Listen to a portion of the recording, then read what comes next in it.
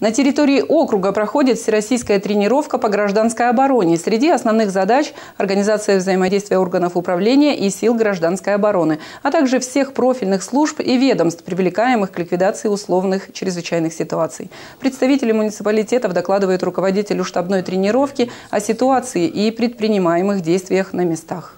У нас сегодня было заслушивание по выполнению мероприятий гражданской обороны при э, агрессии – а также выполнение мероприятий по чрезвычайной ситуации.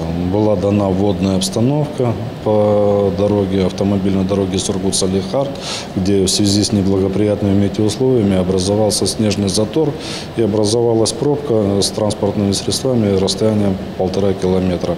В заторе находится 153 человека, им необходимо оказать помощь. И вот мы, значит, э, условно провели заседание комиссии по чрезвычайной ситуации.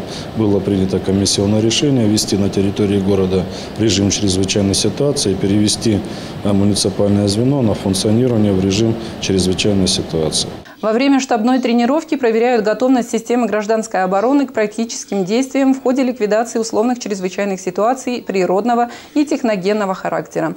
Также отрабатываются навыки руководителей должностных лиц на федеральном, региональном и муниципальном уровнях власти. Учения состоят из трех этапов, которые проходят последовательно в течение трех суток по 3 октября. Всероссийская тренировка приурочена ко Дню гражданской обороны, которая отмечается 4 октября.